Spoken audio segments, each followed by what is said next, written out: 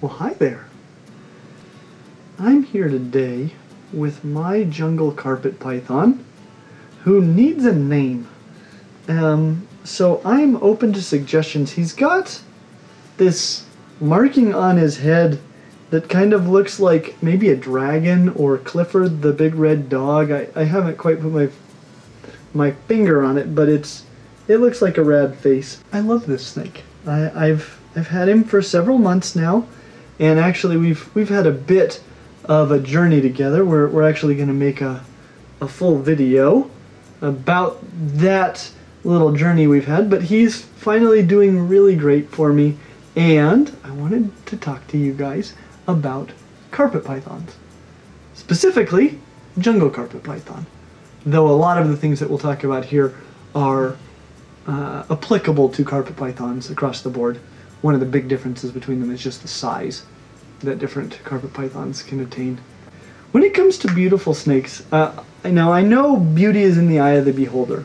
And I can name a number of snakes that I find absolutely gloriously beautiful. And none of them are obviously more beautiful than this. I mean, look at this snake. Those colors, the contrast, my goodness, they're just unbelievable. I mean, I have seen so many people who have seen this snake for the first time and thought, my gosh, that's one of the most beautiful animals I've ever seen. They've got these almost jet black eyes which go perfectly with their jet black pattern. And then oh, I love the yellows. They've got heat sensitive pits, which is a great story, and they look really cool. These guys honestly have a very, very similar look, which isn't actually surprising because they're not super distantly related, but it's a very similar look to the green tree pythons, uh, which are really, really rad snakes but these guys are a little bit easier to keep and have a little bit better temperament and a little bit a little bit less nasty of a bite. And I actually like both of these snakes, but this is a spectacular alternative to green tree pythons. I adore these guys. Plus they're long and slinky, they hold on really well. I mean, something's like a blood python, if you don't hold on to it, it'll just fall on the ground. These guys live in the trees, they can't do that.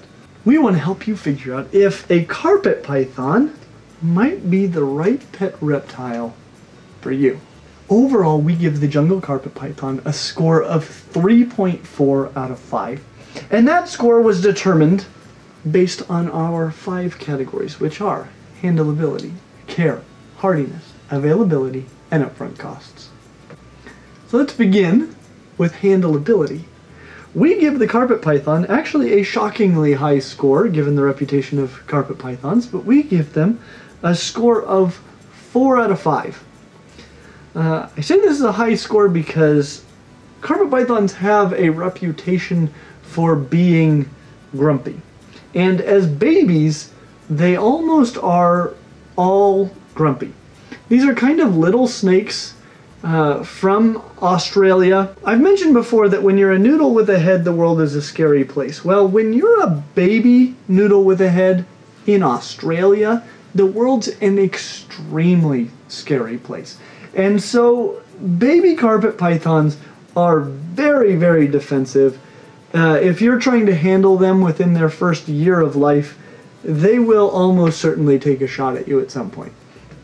So be aware of that. The four really comes after the first year. And that is when they can become pretty darn reasonable to handle. Though they're much less defensive than they are as babies, I'm still very careful with them. You'll notice I'll be looking at the camera a lot less than I normally do in our videos because I'm paying attention to this snake. I've only been bitten by three snakes in my life, uh, despite having handled hundreds of snakes. In fact, I've handled snakes while they have bitten other people because the other people were not being as careful about monitoring their behavior as I am. This is usually their snake. They hand it to me. I can tell it's grumpy, and I can tell if you reach at it, it's going to bite you, and then it bites them. And I managed to not be bitten.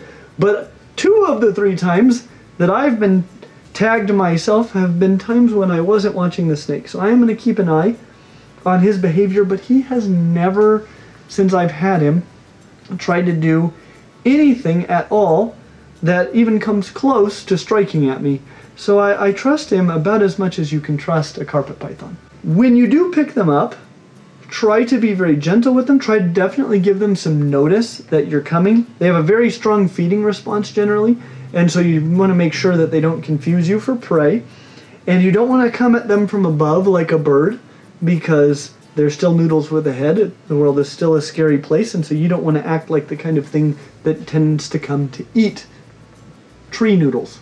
However, they can become extremely handleable. If you pick them up right and you let them get a good perch, because these are a, a tree snake, so they definitely want to feel like they're well perched.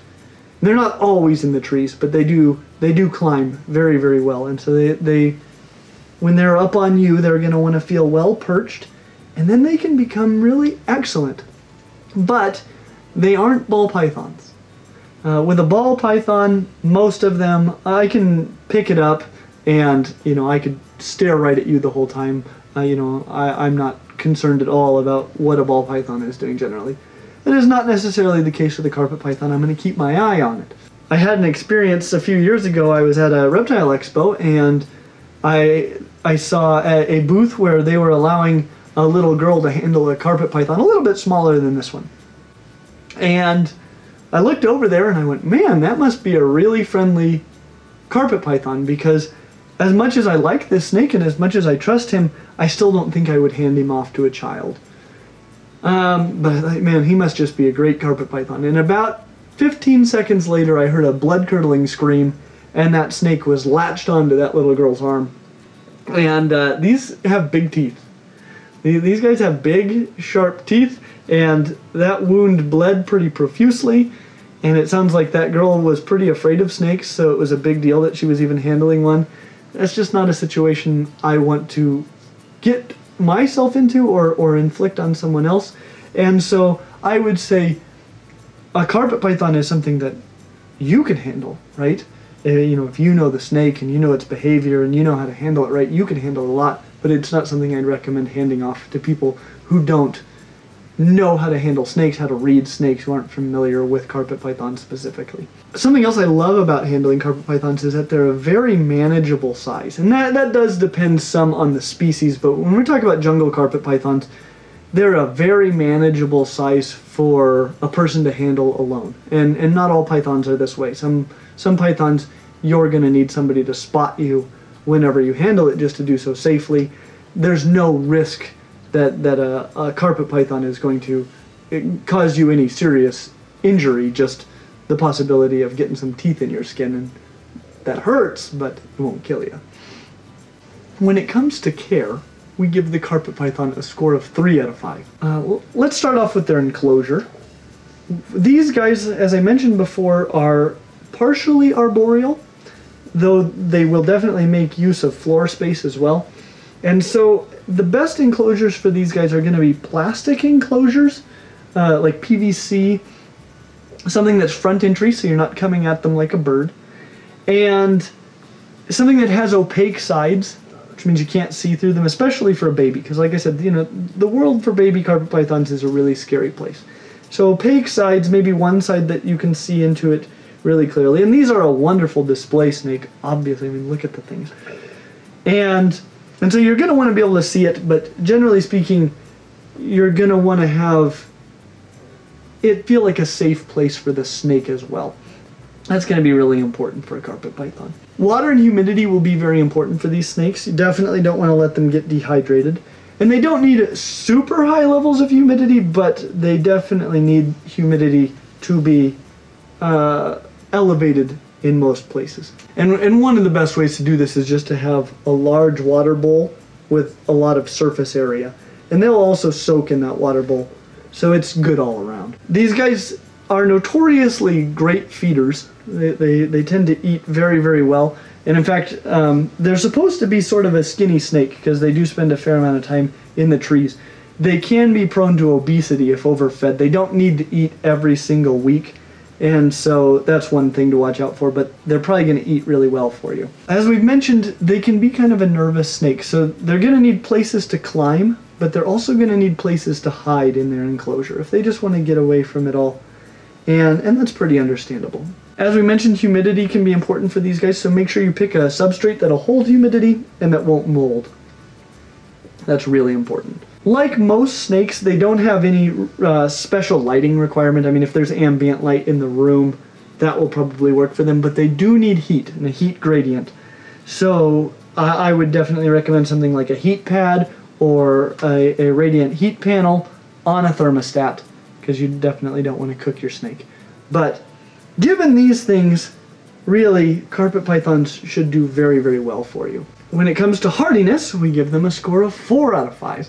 Like I just said, given proper care, they should do really, really well. However, they don't tolerate mistakes with their care as well as some other species. Uh, maybe things like ball pythons, which if you don't get it exactly right, you know, they, they probably will linger on for a long time. And hopefully you, you figure it out and correct make corrections. These guys aren't quite as tolerant of those sorts of mistakes, but their the specifics of their care uh, are somewhat broad. When it comes to availability, we give the jungle carpet python a score of 3 out of 5. These guys are actually fairly easy to find from breeders or at reptile expos, but outside of that, you're not going to see them very often. They will occasionally be at pet shops, uh, so they are around.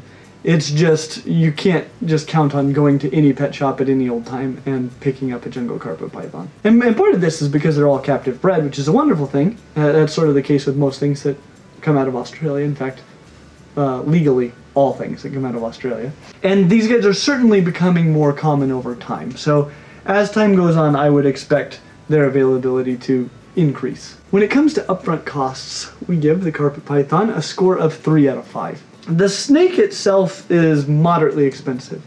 Uh, I mean, even even for a wild type jungle carpet python, expect to pay over $100 easily. That would be a pretty great deal, actually, for a jungle carpet python. The enclosure also is somewhat large for a snake this size. I mean, compared to a similarly sized ball python, for example, these guys need not only the same sort of floor space, but also more vertical space. And you're probably not going to use a rack system like you would with a ball python, though they seem to do okay in racks. More ideally, you're going to want to give them space to climb and a lot of places to hide and places to move around, and that's just a big enclosure. But the great thing about these things is they're a phenomenal display snake, especially compared to something like a ball python, which is really just going to hide in a hole somewhere almost all the time. These guys are going to be out, up in a tree, exploring around, and when you can see them, my goodness, they're beautiful. I would say arguably the most beautiful snake you could possibly get. Front entry enclosures, not only do you need the size, but front entry would be the way that I would go. Uh, and front entry enclosures tend to be more expensive for one reason or another, but there are a lot of great ones out there. And, and I would definitely go that way so you're not coming at them like an eagle. If you have an enclosure that opens from the top, which, like I said, I, I don't necessarily recommend, make sure it has a great lid because snakes are very good at getting out of things, especially snakes that are great at climbing. So if you don't have a great lid, I would not expect to find your snake inside of the enclosure, I would expect to find it probably more like up on the curtain rod over your window. That's where the snake will be.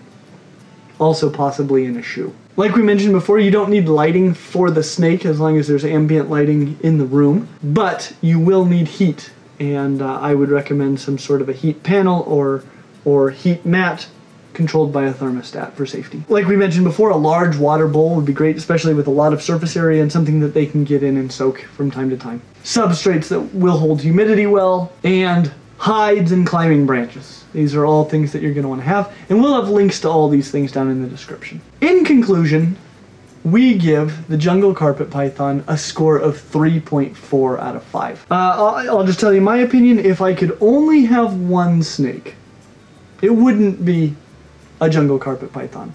It would be something that's a lot more handleable that I can hand off to children because that to me is one of the greatest things about having a snake is just being able to share it with other people and, and to hold it and interact with it. And these guys are great about it, but I just don't trust them as much with other people who don't know their behavior and how to treat a snake. But if you've already got a snake that's great to handle and hand off to other people, is a jungle carpet python just a stinking amazing pet snake, especially for a display snake? You're darn tootin' it is!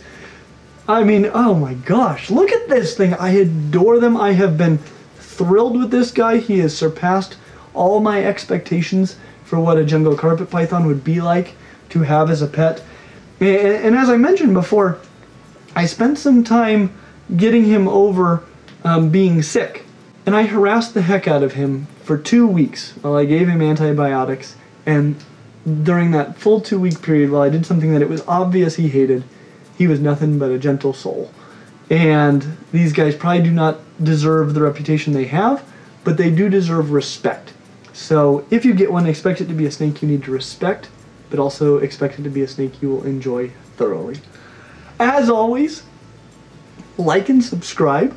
Click the little bell so you get notifications when videos about other just stinking rad reptiles come out. Also, thank you to you guys on Patreon.